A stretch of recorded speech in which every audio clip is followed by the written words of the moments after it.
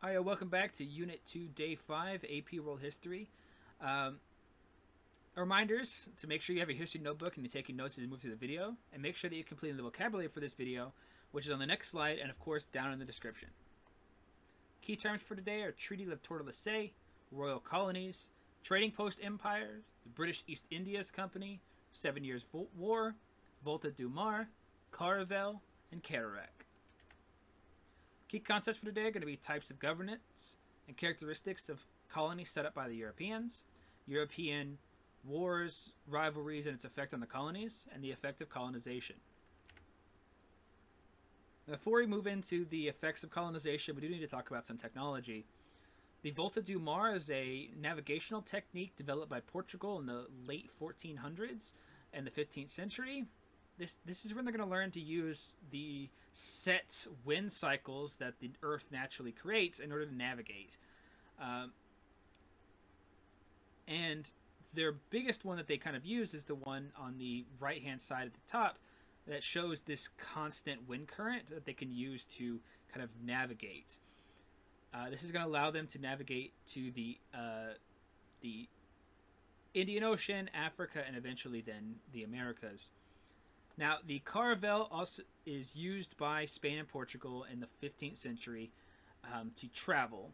Uh, it's a, a caravel is a small, fast, maneuverable ship that uses a lateen sail that they got from China, and they also use what is known as a beating method to go indirectly against the wind, so they're not solely dependent on the wind for navigation.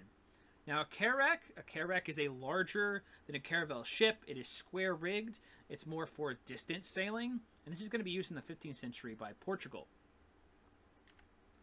Now, global exchanges. The bi- this is the big biological exchange between the New World and Old World, where they where they the Old World and New World transfer diseases, food, animals, and farming techniques. This is known as the Columbian Exchange.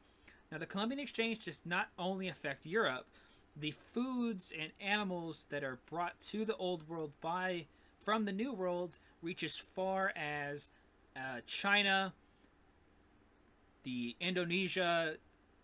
Uh, eventually, it'll even reach Australia. It reaches really globally, and it's not just between the old world and the new world or Europe and the Americas. But there's not only there's not always positive things spreading during this way. Endemic diseases such as smallpox, measles, diphtheria, whooping cough, and influenza are going to ravage the Americas, and the and diseases from the New World are also going to hit the hit the Old World. And between 1500 and 1800, 100 million people are going to die from imported diseases. Against some of the food crops and foodstuffs that transfer over, we have wheat, horses, cattle, sheep, goats, chickens go to the Americas. And American crops such as maize, which is corn, potatoes, beans, tomatoes, peppers, and peanuts go to the old world. And due to the increase of food in the old world, because these are easy to grow, we see a population increase from 425 million in 1500 to 900 million people by 1800. Well, with all this new population, they have to go somewhere. And the Columbian Exchange also includes the transfer of people from the old world to the new world. Uh, the biggest transfer to the new world from the old world are going to be enslaved Africans, uh, which are going to be the largest group transferred from 1500 to 1800. So here's a picture of the uh, Columbian Exchange. It shows what is what goes from the Americas to the Old World, and from the Old World to the New World. These are foods and animals. This isn't the full Columbian Exchange. Now, colonial expansion. You can really kind of set. This is in the Americas. You can really kind of set the two biggest colonial expansion during this area is going to be Spain and Portugal. Spain kind of starts it off with the Caribbean. In 1521, they're going to invade what is modern day Mexico. And in 1531, they're going to invade what is modern day Peru their biggest rival in the region, P- Portugal, is going to try to colonize Brazil, and they will colonize Brazil. But there's a problem. Now they're rivals, and the Pope steps in because they're both Catholic, and they said, hey, I'm just going to separate the world in half, and this is known as the Treaty of Tordesillas, where Spain gets the left half, the Americas, and Portugal gets the right half. They get the Africa and the Indies, and Spain gets most of the America minus a portion of Brazil. Both Spain and Portugal are going to be direct rule royal colonies with colonial administrators sent out from Spain and Portugal. Now, the goal of Spain and Portugal is to make money and to convert the native population to Catholicism. So, what does that mean? Well, that means that very rarely is Spain and Portugal going to have a large portion of Spanish and Portuguese in that region. They're going to be more slaves and American Indians. Now, on the other side, which is kind of the opposite of Spain and Portugal's motives, we have the French, Dutch, and English, who are, yes, in it to make money through joint stock companies and setting up those kind of colonies to make money, but they're more setting up for settlement. They're wanting to live there. They're going to be one of the ones who are, we're going to import tons of people to these places. We're going to settle. We're going to make a country or make colonies so we can expand our holdings. Um, and this is kind of encouraged by the French, Dutch, and English through land grants.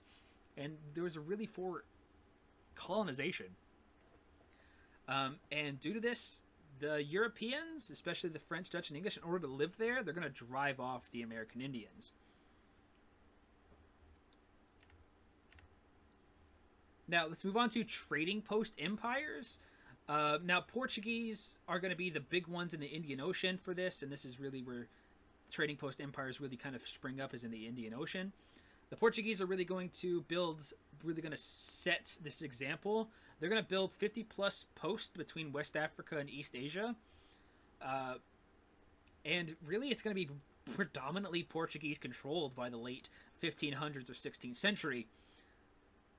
Well, then move in the English and the Dutch. Um, the Dutch kicked the Portuguese out of so South Africa and they set up Cape Town and they also set up in Indonesia and modern day Java. The English then come in, they kick the Dutch out of uh, South Africa and India. Then they kick the Portuguese out on the eastern coast of Africa. And really, the English really began to kind of really kind of take over. Now, the English are going to create, and the Dutch are going to create efficient commercial organizations known as joint stock companies. And again, this is when you have several people who buy a share of a company and they get those that share profit back. You're also going to see the rise of insurance companies, where companies arise to insure these trading ventures in order to make sure that um, that they get there and their money and the investors' money is protected. Now we have two biggest uh, joint stock companies It's going to be the British East India Company, founded in 1600, and then you have the United East India Company, or the VOC, founded by the Dutch in 1602. And these are going to be the two biggest ones that you're going to see over and over again, especially the British East India Company. Now, again, the Europeans in the Indian Ocean, the Portuguese controlled the area initially. They were the first ones there. They're the first contact. They're setting up everything. Then the Dutch come in. The Dutch are like, Portuguese, ha! You thought you were good at this. You're not. We're going to take over. And then the English look to the Dutch and be like, ah, nope, you're bad at this too. And they kick the Dutch out. Uh, now, kind of, France is also wants a piece of this. So the English are going to fight the France over India. Right? This establishes the British East India Company, who then goes to the king. And the king is like, and he goes to the king's like, hey, we're making you a lot of money. Can we have the Royal Navy to protect our stuff, and and and you can fight the French too. And the the king's like, that sounds like a perfect idea. And so the British kind of roll over France in the in India and the Indian Ocean. The Spanish con- conquer the Philippines. That's not where the profit is, so the English don't really care. The Dutch really only can kind of conquer Java because they were kicked out of everywhere else by the English. Right? Well, of course, this is going to create commercial rivalries. And due to increased global competition, of course, if you're if there's money involved, people are willing to fight and die over it. Right? The Dutch kick all the Portuguese out of Southeast Asia. right? Then the then the English come and kick the French, the kick the kick the Dutch out, and then the English and French are sitting there fighting over India. This leads well when the English are fighting the Dutch. This leads to the Anglo-Dutch Wars. Anglo meaning English, English-Dutch Wars. Right, you have the War of Spanish Succession, which is going to kind of cripple the Spanish um, power in this region and kind of really keep them to their holdings in the Americas and uh, the Philippines. And of course, the Seven Years' War, which is the one you uh, are going to need to know the most, is going to be between the French and the English in the Americas and at sea. And, well, the English are going to win. And what's the outcome of all of these things? The outcome of all of these is that the British win. And the British really begin to control this vast country, this vast network of colonies and trading outposts. And this is where the term the sun never sets on the British Empire comes from, right? Because the British control India, Canada, Florida, most of the Americas up to the Appalachian Mountains on the eastern seaboard. The Dutch are allowed allowed to keep certain places as long as they were allies with the English and paid them a portion. Right? This is really showing that the British have the power right? Now, other in in other places in Europe, the Prussians armies are holding up massive armies. They're really beginning to show their military prowess. But again, war paves the way for the British Empire in the 1800s, 17 1800s. Right? By 1750, British is the strongest nation in the world. They have the land, they have the sea, they have the money to back it up. Right? And they really don't lose until the American War for Independence. And that's when they really start to crack, but even then they maintain most of their supremacy well into the 20th century. So that's where I'm in for today. Please make sure that you're following along with your notebook and you're completing the vocabulary for this video, which is at the beginning of this video and down in the description. Thank you guys, and I'll see you guys in class.